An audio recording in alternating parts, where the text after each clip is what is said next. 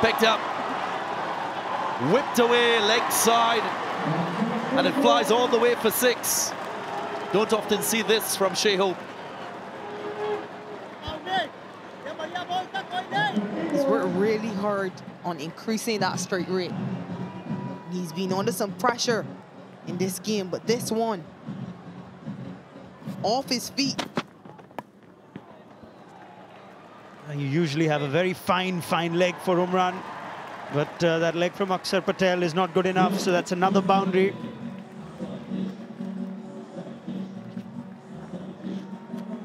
Again, with this pace, sometimes it can be that much easier to score. Just getting it a bit too straight there, but perhaps a better effort needed on the fine leg boundary by Akshar Patel. Boundary taken by Shai Hope. What a shot.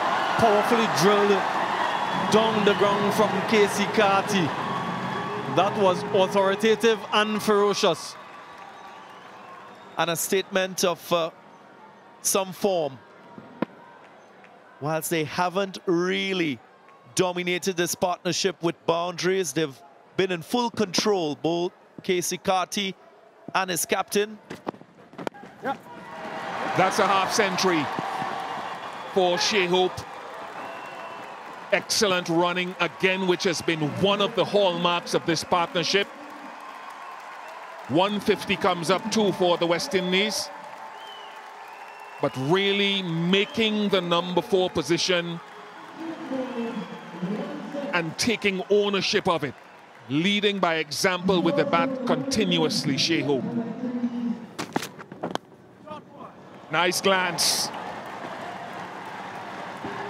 This young man has talent. And when he's had good form as he showed against Sri Lanka, you want to give him that run. And he continues to grow in that confidence. It looks much slim, simpler now. All the way for six. Struck with authority.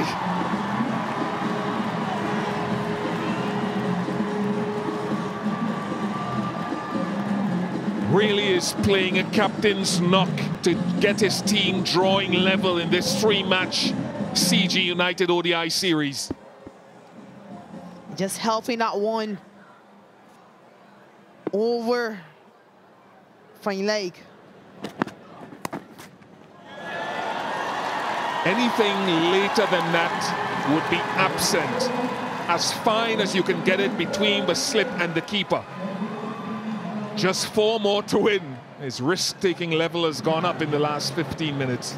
And mode to compliment that shot. Very brave.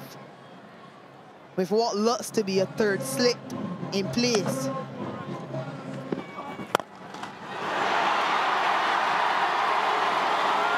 Just short and Carty throws his head in the air because he wanted to hit it for six to get to his 50.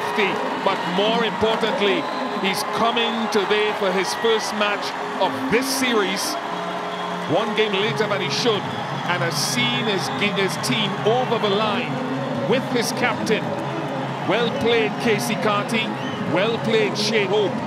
The West Indies draw level in this three-match series with one to play. They win by six wickets here at Kensington Oval to the approval and the pleasure of this crowd they're staying faithful.